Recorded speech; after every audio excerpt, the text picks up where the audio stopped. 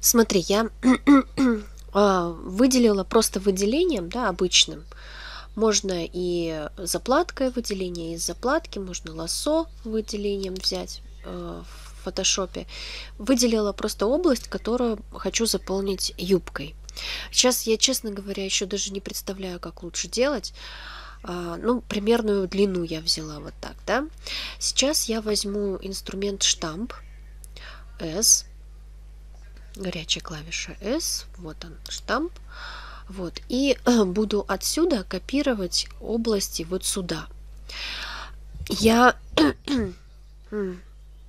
специально выделила область, чтобы за границы выделения не выходить. А, удерживаю Alt и смотрим да.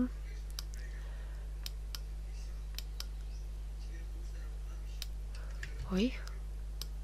Ой. Так.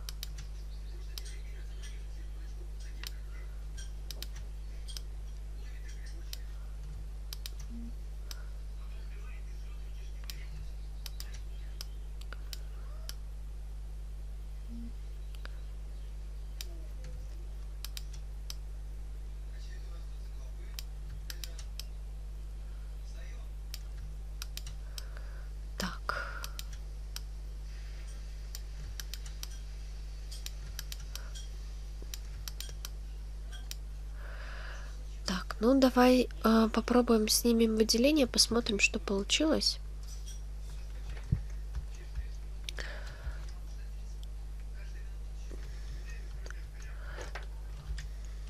Теперь смотри, вот здесь вот грубовато. Я беру инструмент э, штамп, ой, заплатка, и буду вот это вот выравнивать.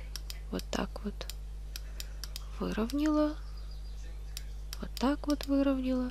Эту часть я сейчас возьму, штампом поправлю э, снаружи. Сделаю штамп не такой, э, не такой плавный, да, вот чтобы границы более резкие были. Вот, Alt. Вот. Вот так вот, да. Сейчас. И вот здесь тоже, наверное, чуть-чуть почистим.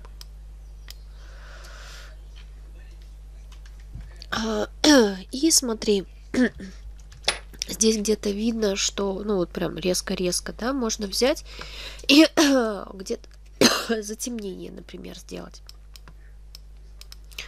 Да, вот я беру инструмент э, Burn, вот здесь есть осветление, извиняюсь, по краям можно затемнить, ну как бы объема придать. И вот здесь вот. Вот здесь вот не хватает тени под ногами. Можно вообще э, вот эту юбку было бы закрашивать на отдельном слое.